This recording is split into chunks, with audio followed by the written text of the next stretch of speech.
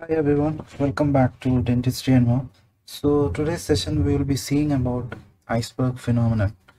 So in the cover pic, uh, I have put a picture of iceberg um, which caused destruction of the unsinkable ship Titanic. So that's the idea of iceberg. So why the um, ship sank? Because uh, the captain of the ship couldn't see the underwater portion of this iceberg.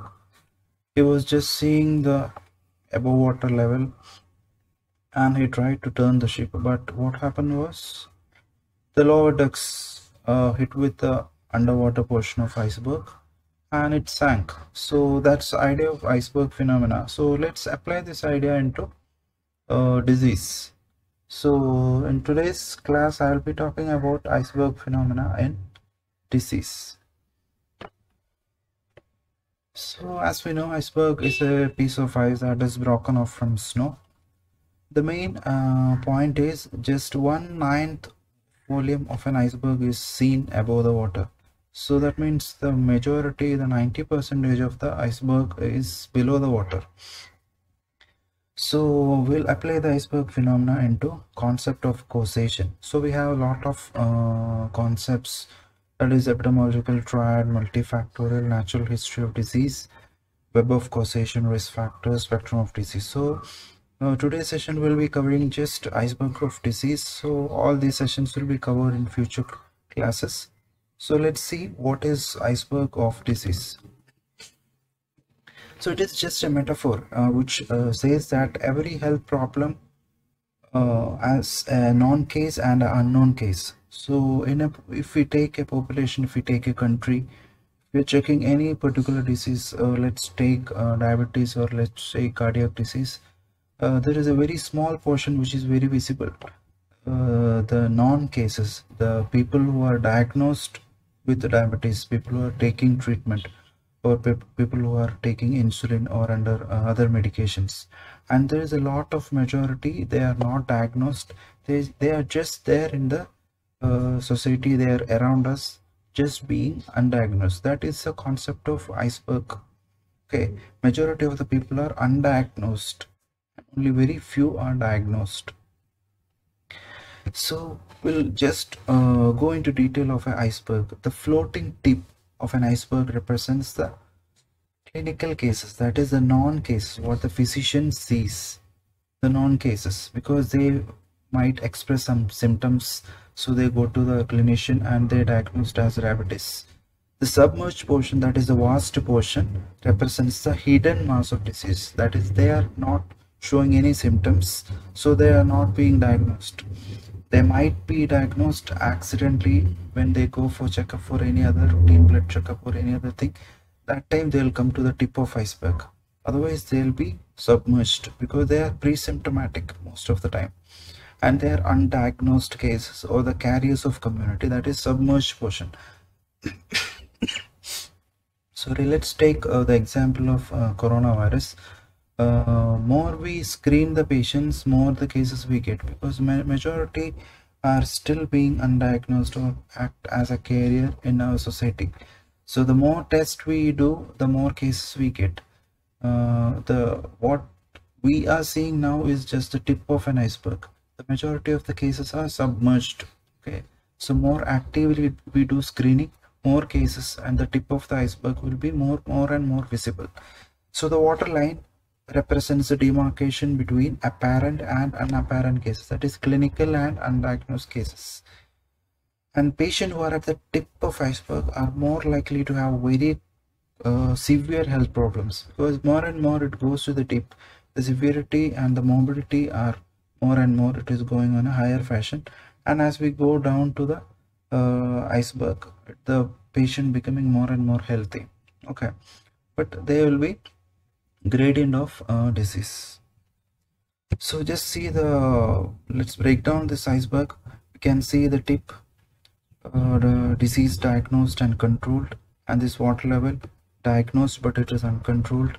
They know that they have disease but they are not under medication and whatever is below the waterline is undiagnosed or wrongly diagnosed.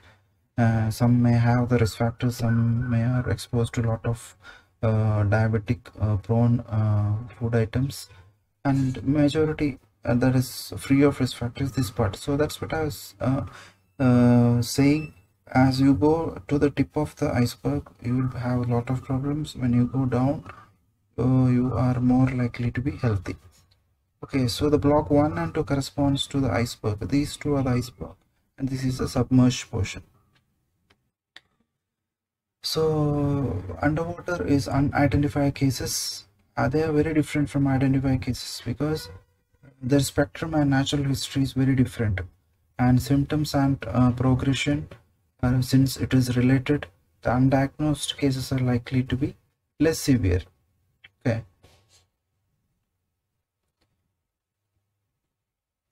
so uh, that's the idea of iceberg. It is not very uh, uh very uh, crucial thing. Uh, it is identifying the undiagnosed cases from a population. That is it basically stress the emphasize the screening part of a disease. Mm, because it is not very contagious uh, diseases mostly uh, hidden will be mostly chronic or lifestyle diseases. So when we do more uh, screening and we get more diseases we can reduce the morbidity uh, of that particular disease. Okay so let's uh, see the scenario of caries. So we know what is caries. So this is the caries iceberg. So this tip of this caries these two blocks are the diagnosed caries. Okay so this is lesions which involved into a pulp.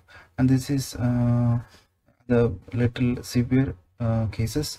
And these are caries involved to enamel and this is just uh, beginning lesions and they are subclinical lesions or free of caries. So these are we are treating uh, these people because these people are coming to dentist or for a dental treatment. These people are uh, having diseases but they are not coming to uh, dentist or a for a dental treatment because of their unawareness or uh, they are not uh, producing any symptoms so this is case of um, dental caries iceberg.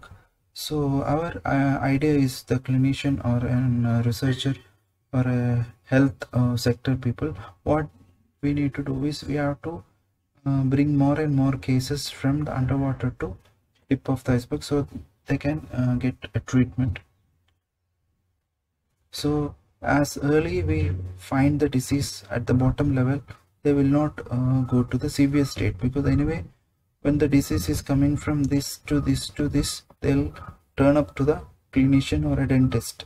So our idea is to detect the cases as early as possible so we can uh, give them a better prognosis.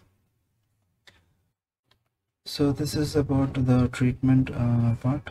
So early we diagnose the disease that is part of screening the better will be the prognosis so here we can do preventive uh, care but uh, this part of the preventive care is not uh, possible. So if we diagnose the patient here by help of screening we can do preventive treatment rather than uh, just like a pit and fissure sealant so fluoride instead of big restorations and other pulp therapy. Okay so if we see the periodontitis uh, iceberg so we know that uh, the iceberg what the patients are coming with uh, symptoms just like loosened tooth or the tooth elongation where the bone support is lost so our idea is to um, conduct uh, more and more uh, radiographs and other clinical aids and find out the gingival recession, bleeding gums and pocket cases so that uh, they get better prognosis. They diagnosed at the very early stages of disease. So get a better prognosis so they don't uh, eventually turn up to the tip of the disease. We have to pick them up uh, underwater and give the treatment so that they don't turn up here. So this is automatically uh, patients with symptoms. So we need to find out people without symptoms by active screening and give them better treatment to uh, get a good prognosis so similarly in oral cancer people uh, turn up only with symptoms just like chewing problems uh, difficulty in swallowing or other tongue problems. Oh so we need to uh, do aspiration biopsy and other procedures and find out the cancers at early stages okay? And uh, active screening will uh, find out the underwater uh, diseases. I mean the asymptomatic or diseases which is not having very severe severity. Okay. So that's the idea of iceberg phenomena. So iceberg phenomena is all about uh, detecting uh, the underwater diseases or the asymptomatic diseases by active screening. So a clinician cannot do active screening. It is uh, uh epidemiologist or uh, other community medicine people or community uh, dentist or community doctors they can go to the public and do active screening. They can do examination on apparent healthy people and find out the disease. Because uh, not all cases will show symptoms. Some will not show symptoms and they produce symptoms at very late stage of the disease. So we need to do active screening on the apparent healthy people and find out the cases before they actually show symptoms. So we can uh, reduce the morbidity of such cases and such patients. Okay so that's the idea of iceberg phenomena. So i'll come up with the other uh, concept of causation in my next classes. So thank you